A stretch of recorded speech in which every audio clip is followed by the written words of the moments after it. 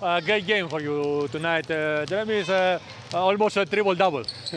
uh, yeah, thank you. Uh, I mean, I just, I just really was just trying to uh, basically lead my teammates and um, trying to, uh, you know, get them in a groove. Uh, I don't really think about uh, what's going on and what I'm doing. I'm just really trying to play defense and trying to help my teammate get going. So.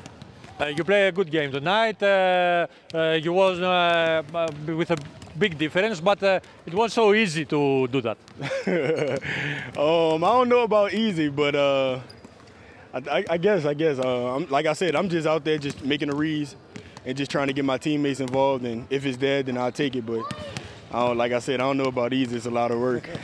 uh, your team is running uh, three uh, consecutive wins. Uh, uh, where do you think that uh, you can reach to, to this year?